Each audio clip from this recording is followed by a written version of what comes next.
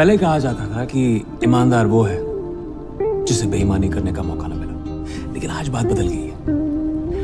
आज ईमानदार वो है जिसकी बेईमानी पकड़ी नहीं गई और बेगुनाह वो है जिसका जुर्म पकड़ा नहीं गया।